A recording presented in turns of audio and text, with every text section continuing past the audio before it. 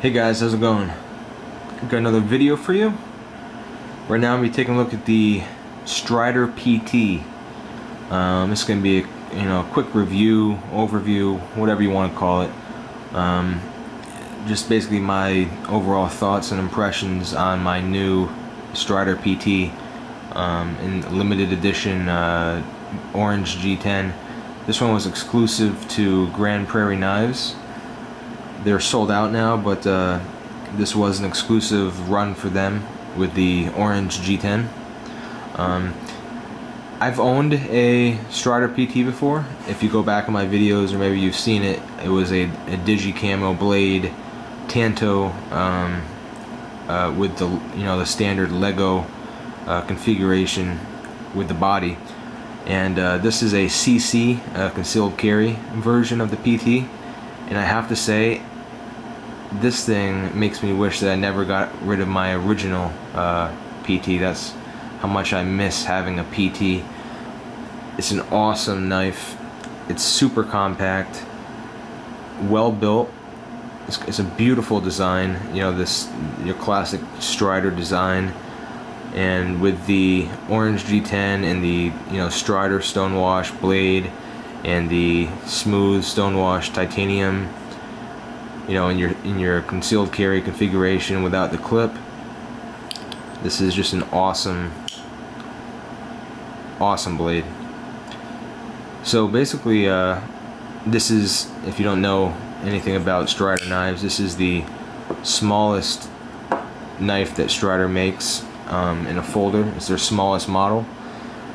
And it's uh, quite a bit smaller than the next up model which would be the SNG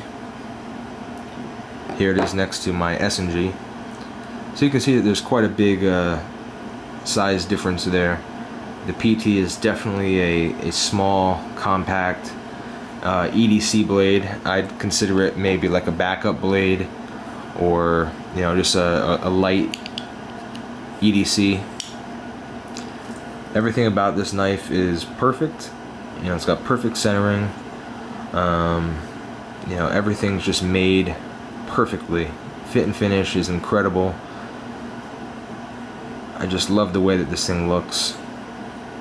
Um, it's got a it's got a pretty tight action, um, similar to my I believe my older PT also had this uh, this tighter action, whereas my SNG now is pretty smooth and you know could be flung out. This thing cannot be flung out, um, at least not without. Uh, loosening the pivot, which is one bad thing about the PTs. I believe they do all, if not most of their PTs with the uh, proprietary three-hole pivot screw. So that makes adjusting it kind of difficult, if not impossible, without the uh, designated uh, tool to do so. But uh, it's it's easy for a one-handed open. You know, you just can't uh, flick it out. Lockup is good. Typical Strider lockup, you know, Strider typically doesn't have early lockups on their knives, and especially with the PTs. I think most of them are generally, you know, mid to late lockup. Um, and it's a little sticky. I gotta say, it's a little sticky.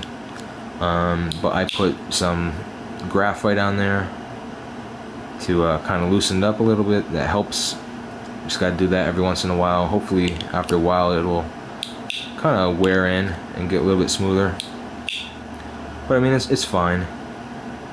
And uh, one thing that I do find in conjunction with it being a little stiff to disengage the lock, because it's uh, such a small knife and because the lock bar is so stiff, it kind of makes it hard to disengage it and get your get enough of your thumb in there to actually engage the lock bar um, especially with the the uh, the smooth stonewash titanium. And there are some uh, there's some you know jimping uh, cut into the the lock bar there but it's smooth. It would be better if it was sharper. That way your thumb doesn't just roll off it so easily you can see a better close-up of the blade. Here you got your Strider logo on this side.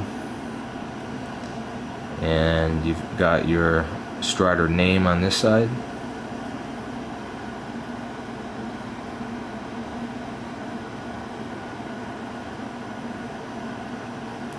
You've got this kind of oval shaped lanyard hole on the back there to put uh, any kind of lanyard you really want to put through there I'm sure you'd be able to fit it. One thing that I love about Striders is just how much jimping they put on the knife. You know there's jimping all over the place on this knife. Uh, you got jimping in the back here and you got a run of jimping that goes you know about an inch and a half including the the handle and the blade here so you've got a ton of you know options as far as how you want to hold this knife. You can choke up on it and you still have some grip there.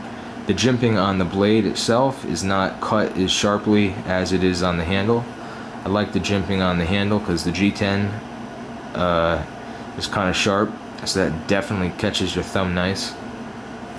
As far as grip goes I mean, it's, you know, typical Strider shape and typical Strider, you know, grip. I got a, I say a medium to large size hand and, you know, it's possible to get your whole hand on there. Um, so no problems with me. The G10 is nice and uh, smooth, smooth finished. That is, of course, because it is a concealed carry model. So it's kind of got like a 3 a 3D contour to it.